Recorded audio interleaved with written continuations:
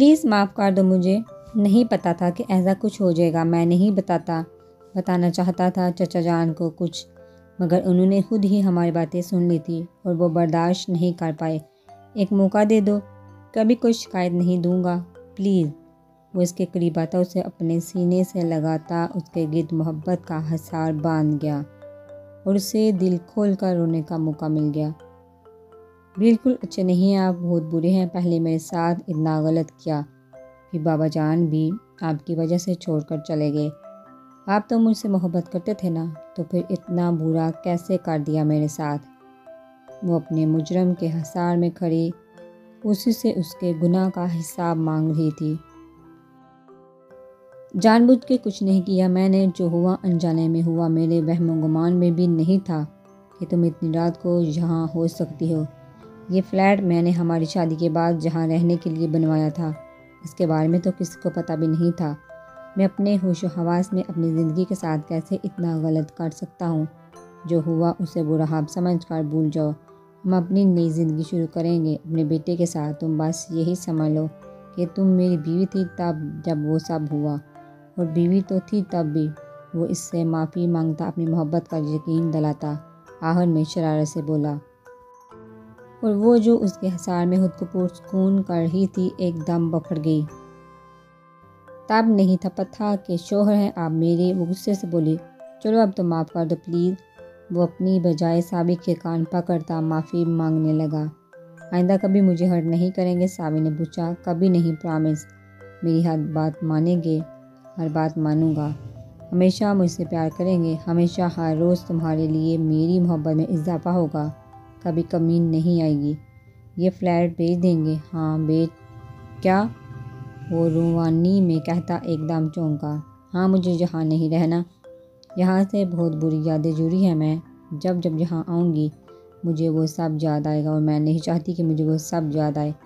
मैं सब कुछ भूल जाना चाहती हूँ। सावी इसके सीने से सार उठाए, इसकी तरफ़ देखती गोया हुई। ठीक है, जैसे मेरी चिड़िया कहेगी, वैसा ही होगा। अब कह दो कि माफ़ कर दिया मुझे। हर गलती, हर गुनाह के लिए।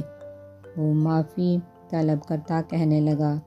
माफ़ कर दिया, हर गलती, हर गुनाह के लिए सिर्फ़ अपने बच्चे, अपनी मोहब्बत और बाबा के लिए, क्योंकि मैं नहीं चाहती। वो आपसे लाख खफा हो जाए, मगर आपको बेचैन और परेशान कभी नहीं देख सकते थे। और मैं नहीं चाहती बाबा की रूह बेचैन, बेसकून रहे। सावी फिर से उसके सीने पर सा सुकून से आँखें मूंदती हुई बोली thank you thank you so much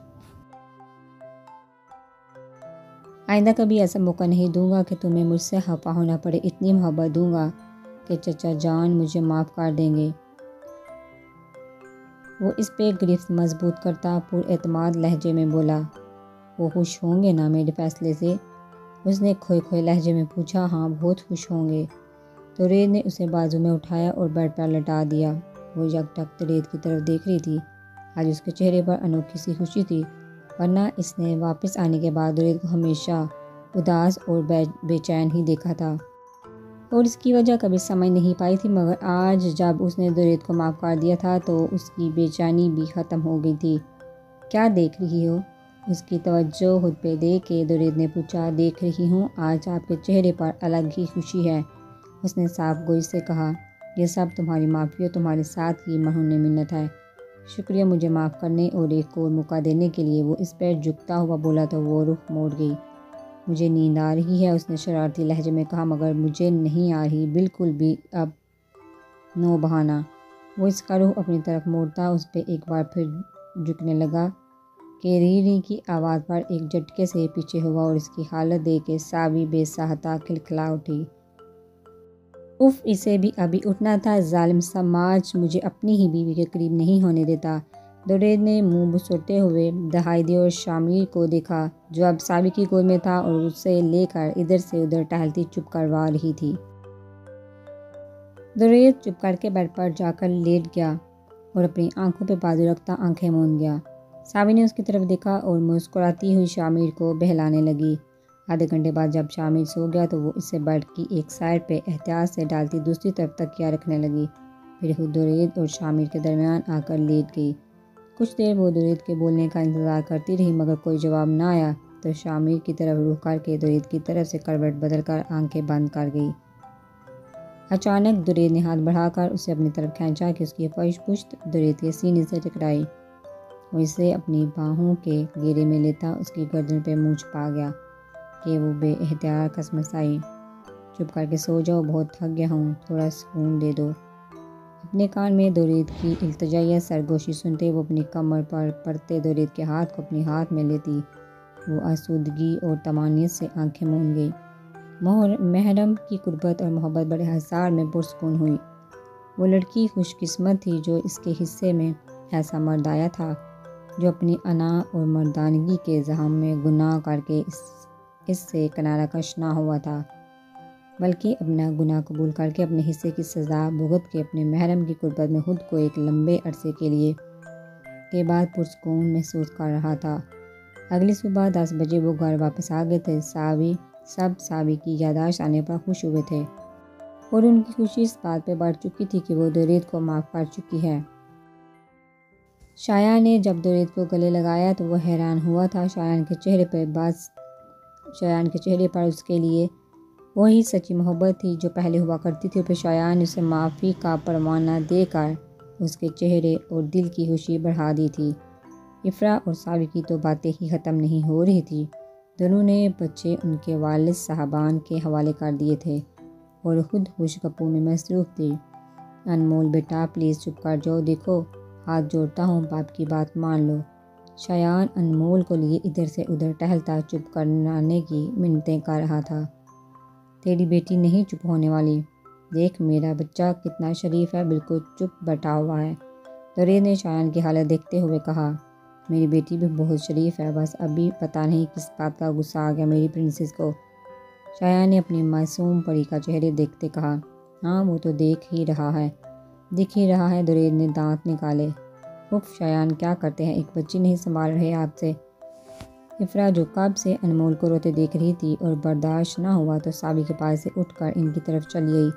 सावी भी उसके पीछे ही थी। ये लो, तुम संभालो, मुझसे तो चुप ही नहीं हो रही। शायान ने कहते ही अनमोल को इफ्रा की गोद में दिया, जो इसकी गोद में आते ही चुप हो गई, जिस पर इफ्रा ने फहरिया शायान की तरफ़ देखा। क्या ऐसे माँ, देखो, सारा दिन तुम्हारे पास होती है और रात को मेरे आने से पहले सो जाती है, इसलिए मेरे साथ इतनी मानूस नहीं है। वो मुझसे चुप नहीं होती शाया ने दांत पीसते कहा जिस पर सब हंस पड़े। लाइए, इसे मुझे दो। साबी ने शामिर को दुरे से अपनी गोद में लिया। हाफिज की छुट्टी होगी आज, मगर क्या फ़ायदा, बोर ही हो रहा हूँ। शाया ने सोफे पे तिरछा लेटते कहा तो चलिए, फिर हम बाहर चलते हैं। दुरेद ने मशवरा दिया। ओके, फिर शॉपिंग भी करेंगे। है ना सावी? इफ्रा खुशी से चाहे कि हाँ बिल्कुल ज़रूर करेंगे। सावी ने तायद की तो शायान और एक दूसरे का मुँह देकर रह गए। यार, ये लेडीज़ को पता नहीं शॉपिंग में क्या नज़र आता है। दुरेद ने आबरी दुरेद सावी ने हफकी से देखा, जी मेरी चिड़िया, हम चलेंगे शॉपिंग करने भी। दिल खोल के करेंगे। कोई मना नहीं करेगा। सावी की नाराज़गी, सावी की नाराज़ नज़रें देखता वो बात घुमा गया। उसके अंदाज पे सब हंस दिए भाई तुम लोग जाओ, मैं घर में ही लंच करूँगी मुझसे बाहर नहीं जाया जाता। नादिया बेगम किचन से आते हुए बोली, मगर मामा साबी ने कहना चाहा, नहीं मेरी गुड़िया, तुम लोग जाओ, मैं थक जाती हूँ और मेरी फ़िक्र मत करो। बुआ है मेरे साथ। नादिया उसकी बात काट के अच्छा ठीक है, मगर आप अपना बहुत सारा ख्याल रखिएगा, हम जल्दी आ जाएँगे। साबी ने उनको हदायत करते कहा अच्छा ठीक है, अब तुम लोग जाओ और जाने की तैयारी करो। नादिया बेगम ने प्यार से कहा और सब ही माँ बेटी की मोहब्बत पर मुस्करा दिए। आधे घंटे बाद वो चारों तैयार होकर अपने बच्चों को उठाए, घर से निकले थे और उनको एक साथ देखकर नादिया बेगम ने दिल से उनकी दामी खुशियों की दवा की थी। पहले उन्होंने लंच किया था, जिसका बिल शाया ने दुरेद की जेब से पे करवाया था जिस पर दुरेद हंसकर रह गया था और फिर वो शॉपिंग मॉल गए थे। शामिर को शायान ने और अनमोल को दुरेद ने उठा रखा था। कि शायान का कहना था कि अनमोल उसके पास आते ही रोने लगती है। सावी और इफ्रा मगन से शॉपिंग कर रही थी। अपने अपने लिए, बच्चों के लिए और अपने बच्चों के पापों के लिए वो दिल खोल के शॉपिंग कर रही थी। शायान और दुरेद जो पहले बच्चों को उठाए उनके पीछे चल रहे थे, अब उनके हाथ में शॉपिंग बैग्स का भी इजाफा हो चुका था। कोई कह सकता है, हम बिजनेसमैन हैं, मुझे तो मैं आया लग रहा हूँ। दुरेद के साथ चलते शाया ने कहा, जिस पे दुरेद मुश्किल से हँसी रोक पाया। तुम्हें आया वाली फीलिंग आ रही है, मुझे जान मुरीदी वाली। दुरेद ने उसके रूहान से चेहरे को देखते एक आँख दबा के कहा, तेरी वाली फीलिंग्स ज़्यादा अच्छी है, अब मुझे भी वही फीलिंग्स आ रही हैं। शाया ने बतीसी दिखाते कहा और फिर वो दोनों अपनी बीवियों के पीछे गए, जो एक शॉप में दाखिल हो रही थी। बिलाहर तीन से चार घंटों में इफ्रार सावी की शॉपिंग मुकम्मल हुई तो उन्होंने अपने शोहरों पर तरस खाते घर जाने का अंदेशा दिया, जिस पर वो भागते हुए गाड़ी तक पहुँचे कि कहीं वो इरादा ना बदल दें, जिस पर इफ्रा और सावी खिलखिला कर हंस पड़ी। डिनर उन्होंने नादिया बेगम के साथ ही किया था और सावी और इफ्रा ने उनको सारी शॉपिंग भी दिखाई। सावी ने नादिया बेगम के लिए भी शॉपिंग की थी, जो इन्हें बहुत पसंद आई थी। उनके शोहर बच्चों समेत पहले ही रूम में जा चुके थे, वो दोनों भी थकी हुई थी। तो जल्द ही अपने अपने कमरों में चली गई। वो कमरे में दाखिल हुई तो रूम के लाइट ऑफ़ थी साइड लैंप जल रहा था। अनमोल बेबी कार्ड में सो रही थी जबकि शायान बिस्तर पर दरा था। उसे नज़र न आया कि वो सो रहा है या नहीं। वो नाइट ड्रेस निकालती ड्रेसिंग रूम में चली गई और चेंज करके वापस आई। एक दफ़ा अनमोल को चेक किया और फिर अपनी जगह पर आकर लेट गई। अभी सोन, उसने सोने के लिए आँखें बंद की थी कि उसे अपनी कमर के गिर्द हसार सा महसूस हुआ। उसने जट आँखें खोलकर शायन की तरफ़ देखा, जिसकी गहरी बोलती निगाहें कुछ और ही दास्तान सुना रही थी। उसकी आँखों में मौजूद जज्बात की रवानगी देखकर वो कसमसाई पर शायन की गिरफ्त उसकी कमर पर सख्त होती गई। बहुत थक गई हूँ, वो मन मनाई मैं भी, फिर सोने दे, मैंने कहा, मैं थक गया हूँ। हाँ तो सो जाए, ना आराम करेंगे तो थकावट उतर जाएगी, उसने मशवरे से नवाजा। हाँ हाँ मेरी थकावट आराम करने से उतरेगी। वह इसको मन ही नज़र से देखता पूछ रहा था। हाँ हकलाते हुए जवाब दिया। वो कुछ पल उसे देखता रहा, फिर एकदम उसके गर्दन पर झुका के वो काम से गई। शान उसकी आवाज़ हलक में अटक गई। दिल की धड़कन में अचानक ये इजाफा हुआ। उसे होंठों पे कहीं नाम हमारा तो नहीं, शायन की आवाज़, सरगोशी की सूरत उसके कानों में गूंजी। और वो उसकी आवाज़ में जज्बात की शिदत महसूस करती आँखें मीच गई। मेरी थकावट तुम्हारी कुर्बत में उतरती है। जानम तुम्हारी कुर्बत मुझे सुकून देती है। आइंदा जब मैं कहूँ कि मैं थक गया हूँ तो ये मत कहना कि आराम करें। वरना सज़ा तुम्हें ही मिलेगी और तुम मेरी सज़ा की नौीयत जानती हो। उसके कानों में रस बोलता उसे मानहेजी से कह रहा था। उसकी बात सुनकर आँखें खोलती, इसके सीने पे सर टका गई। वो एक हाथ इसके दिल के मुकाम पर रखती, अपना नाम लिखने लगी।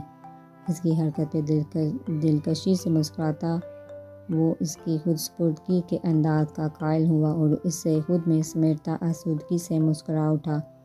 सावी रूम में आई तो दरेज शामिर को सीने पर लटाए लटाए ही सो चुका था। सावी को इस पे बेतहाशा प्यार आया। उसने आगे बढ़कर शामिर को जुले में लटाया और खुद चेंज करने चली गई। कुछ देर बाद बाहर आई और बेड पर दरेद के करीब लेटती उसके सीने पर सर रह गई। जुरेद ने हल्की सी आँख खोल के उसे देखा और एक हाथ उसकी कमर पर टिकाता, उसे खुद से करीब कर गया। सावी ने उसके माथे पर बिखरे बाल समेटे और उसके कान के करीब चुकी दो ही चीज़ें हैं मुझमें, एक रूह, दूसरा तू। उसकी सरगोशी अपने कान में सुनता, वो आँखें खोलता। करवट बदल गया कि सावी उसके वजूद में चुप सी गई और वो मुकम्मल उस पर छा गया। चल एक ऐसी नज़म कहूँ, जो लफज कहूँ वो हो जाए। बस अश्क कहूँ तो एक आँसू तेरे गोरे गाल को दो जाए। मैं आ लिखूँ तो आ जाए। मैं बैठ लिखूँ तो आ बैठे। मेरे शाने पे सा रखे तू। मैं नींद कहूँ तो सो जाए। मैं कागज़ पर तेरे होंठ लिखूँ। तेरे होंठों पर मुस्कान आए। मैं दिल लिखूँ तो दिल थामे। मैं गुम लिखूँ वो खो जाए। तेरे हाथ बनाऊँ पेंसिल से, फिर हाथ पे तेरे हाथ लिखूँ। कुछ उल्टा सीधा फ़र्ज़ करूँ, कुछ सीधा उल्टा हो जाए। मैं आह लिखूँ तो हाय कराए। बेचैन लिखूँ, बेचैन हो तू। फिर मैं बेचैन का बे काटूँ, तुझे चैन ज़रा सा हो जाए। अभी ऐन लिखूँ तो सोचे मुझे, फिर शीन लिखूँ तेरी नींद उड़े। जब काप लिखूं, तुझे कुछ कुछ हो, मैं इश्क लिखूं, तुझे हो जाए। वो इसके कानों में सहर फूंक रहा था और वो इसके सहर में गुम होती जा रही थी। उसने सर ऊँचा किया और अपने महरम की पेशानी पर मोहब्बत बड़ा बोसा दिया। उसकी मोहब्बत पे वो मुस्कुराया और गहरी बोलती निगाहों से उसे देखने लगा कि बेख्तियार सावी की हथेलियाँ नम हो गई। दोरेद वो उसकी कुर्बत से घबराती बोल उठी। रिलैक्स, सब ठीक है, कुछ नहीं हुआ। उसके कंधे से हिलाने लगा। जानता था सब याद आने के बाद से वो उसे घबराने लगेगी। मगर वो आहिस्ता आहिस्ता ठीक कर लेगा। इससे अपनी मोहब्बत पे इतना यकीन तो था। उसके चेहरे के नक्श पे अपनी मोहब्बत की मोहर लगाते उससे पुरस्कून करता। उस पर झुका और उसे अपनी मोहब्बत, अपने इश्क की दास्तान सुनाने लगा। उसने सावी को किसी नरम कांच की गुड़िया की तरह खुद में समेटा कि सावी खुद को मोम की गुड़िया तस्वर करने लगी, जैसे ज़रा सी सहती तोड़ कर रख देती। दुरेद की मोहब्बत में पिघलती वो इसकी कुर्बत में महकती जा रही थी और दुरेद अपनी बरसों की तशनगी उसकी कुर्बत में मना रहा था। बाहर चाँद की चांदनी रोशन थी जो अगले आने वाले रोशन दिन की गवाह थी। एक साल बाद आनिया की शादी हो चुकी थी और वो अपने हस्बैंड के साथ खुश थी। उसे खुदा ने बेहतरीन से नवाजा था और वो खुदा का शुक्र अदा करती ना थकती थी। बेशक खुदा के हर काम में हिकमत होती है। अशर अपने किए पर शर्मिंदा था। वो घर आकर सावी और सब घर से माफ़ी भी मांग चुका हो चुका था। और साहब उसे माफ़ भी कर चुके थे। अब वो बिज़नेस में बिज़ी हो गया था।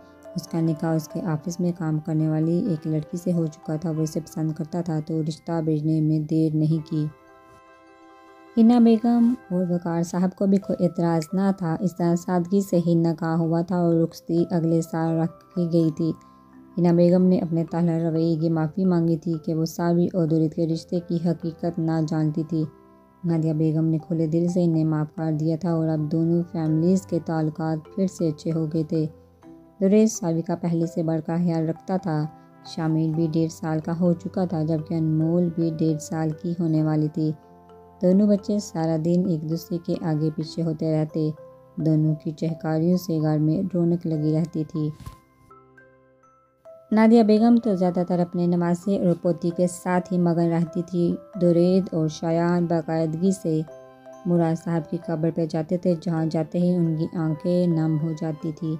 मगर जानने वालों के साथ जाया नहीं जाता, उनके बगैर जीने की आदत डालना पड़ती है।